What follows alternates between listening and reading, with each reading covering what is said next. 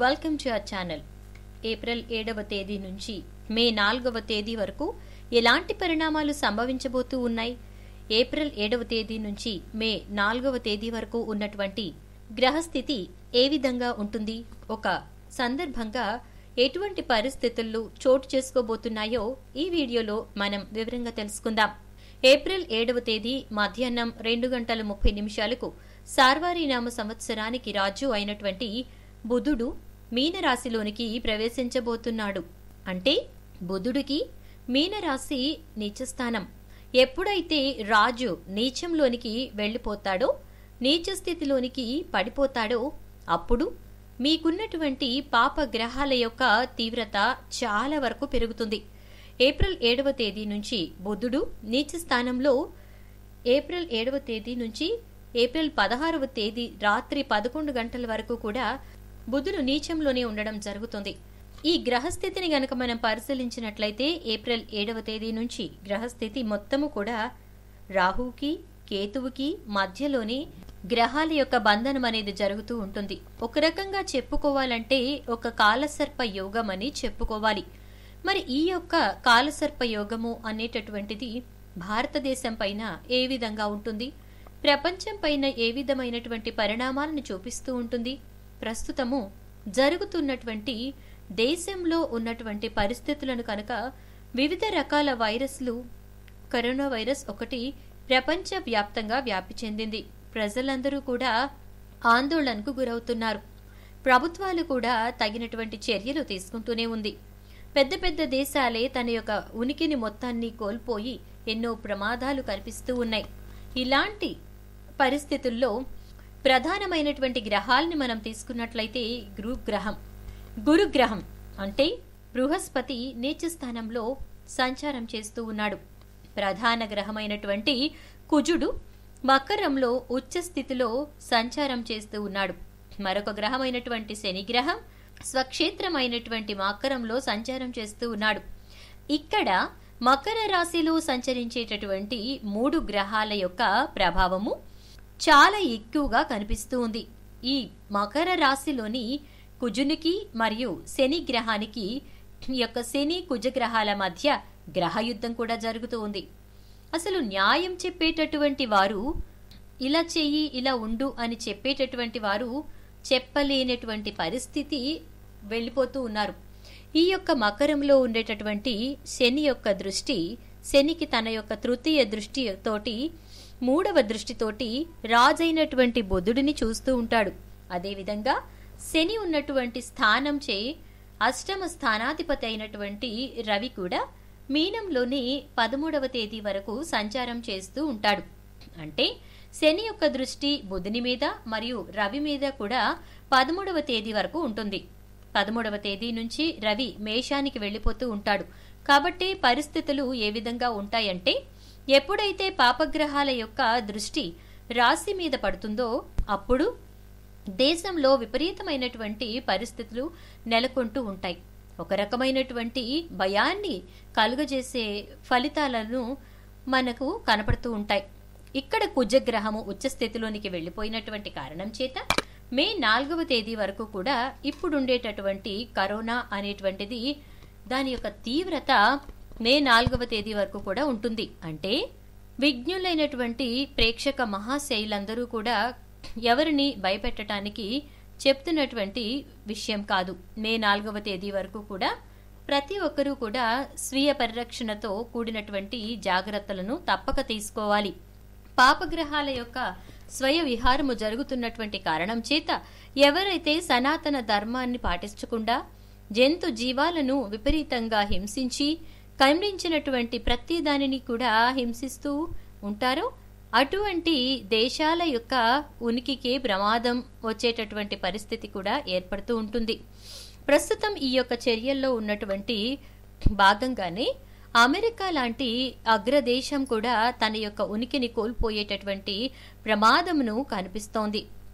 విజ్ఞులైనటువంటి భారతీయులంతా కూడా మే నాలుగవ తేదీ వరకు కూడా మన యొక్క ధర్మాన్ని పాటిస్తూ మన ధర్మాన్ని గౌరవిస్తూ మన ఆచారాలను పద్ధతులను మన యొక్క సంస్కృతులను మన సాంప్రదాయాలను గౌరవించినట్లయితే భారతదేశమే ప్రపంచంలో అగ్రదేశంగా అసలు ప్రపంచం మొత్తానికి కూడా పెద్దనగా విస్తరిల్లేటటువంటి విరాజిల్లేటటువంటి అవకాశము ప్రస్తుతం భారతదేశానికి కనిపిస్తూ ఉన్నాయి.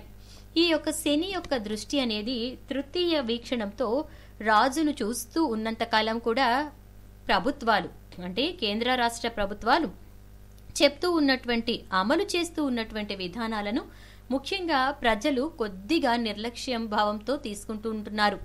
ముఖ్యంగా చెప్పుకోవాలంటే ఏడవ తేదీ నుంచి పదహారవ తేదీ వరకు కూడా అత్యంత కీలకమైనటువంటి కాలము.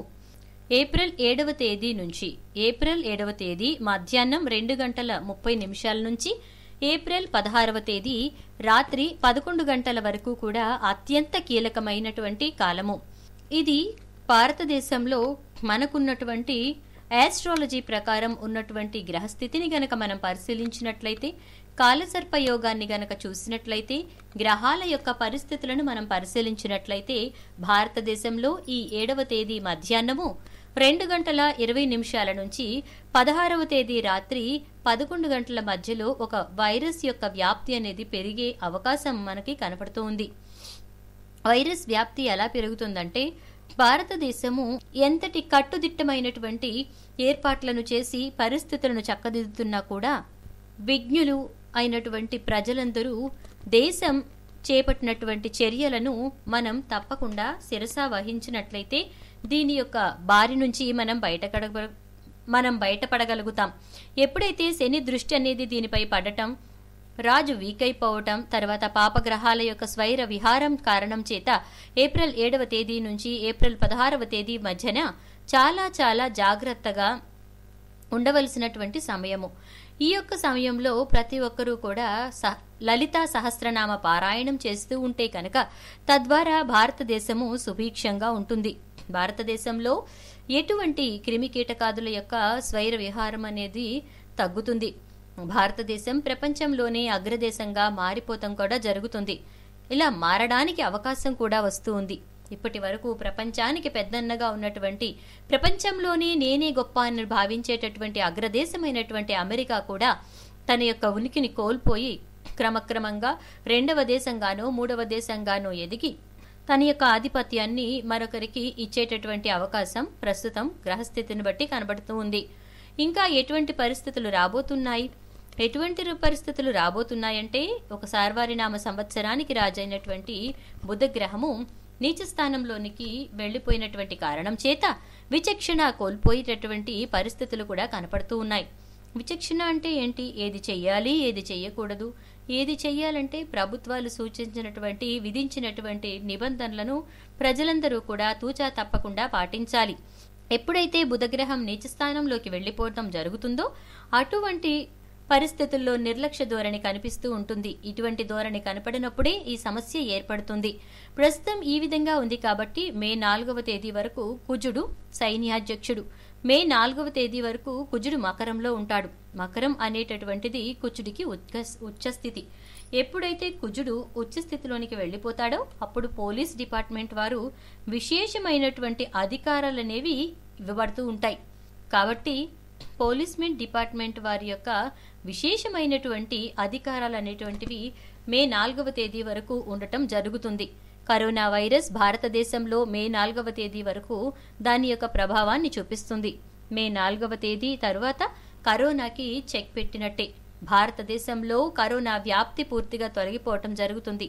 కాబట్టి మే నాలుగవ తేదీ వరకు కూడా అందరూ జాగ్రత్త వహించండి. ఇప్పుడున్నటువంటి గ్రహస్థితి ప్రకారం కనుక మనం తీసుకుంటే ఉంటే ఏ రాశుల వారు ఎక్కువ జాగ్రత్తలు తీసుకోవాలి? ఏ రాశుల వారికి లాభదాయకము? ఏ ఏ రాశుల వారికి నష్టదాయకము అనేటువంటిది మనము వివరంగా తర్వాత చూద్దాం. కాబట్టి దయచేసి సనాతన ధర్మాన్ని పాటిస్తూ అందరూ కూడా ప్రభుత్వానికి పోలీసులకు వైద్యులకు ప్రతి ఒక్కరికి కూడా సహకరించండి. తద్వారా వారు చెప్పేది మన మంచికే కాబట్టి తప్పక పాటించి మనం మన సేఫ్టీతో పాటు మన పక్కవారి సేఫ్టీని కూడా మనం గుర్తు చేసుకుందాం. కాబట్టి ఎట్టి పరిస్థితుల్లోనూ ఇవి గ్రహాలు అని తీసి పారేయకుండా గ్రహ స్థితిగతులను బట్టి కూడా ప్రపంచంలో మార్పులు జరుగుతూ ఉంటాయనే విషయం మనలో చాలా మంది నమ్ముతాం కాబట్టి దీని ప్రకారంగా మనం జాగ్రత్తగా ఇంట్లోనే ఉండి బయటకు రాకుండా కొన్ని రోజుల పాటు జాగ్రత్తలు పాటించినట్లయితే మనము ఈ ఇక్కట్ల నుండి ఈ ఇబ్బందుల నుండి ఈజీగా బయటపడగలుగుతాం. కాబట్టి దయచేసి ఇంట్లోనే ఉండండి. సేఫ్గా ఉండండి. అండ్ అదేవిధంగా ప్రభుత్వానికి సహకరించండి. ఈ వీడియో నచ్చితే ఒక లైక్ చేసి షేర్ చేయండి. అలాగే ఛానల్ను తప్పకుండా సబ్స్క్రైబ్ చేసుకోండి.